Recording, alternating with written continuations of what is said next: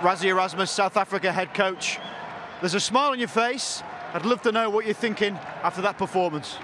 No, no, I think they obviously deserve to win. I mean, two tries to one and then a penalty count, I think 10, 10 penalties against us and only two against them. You know, that's great discipline by them and it, and it showed on the scoreboard. The 17 points in five minutes was the big story of the game. What were you saying at half time?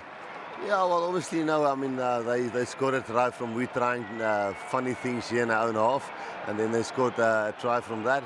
And then I thought after half time we clawed our way back, and uh, then we just couldn't convert when we inside the 22.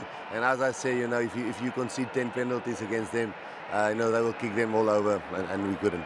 Well, no team have won a World Cup having lost a game in it. What do you say to that?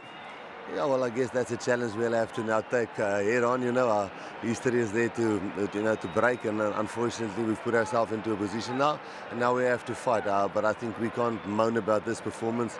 They really played well. Uh, I think the referee was good, and, and we just have to work really hard. Humble words there. Thank you for your time, Rassie. Thanks, appreciate that.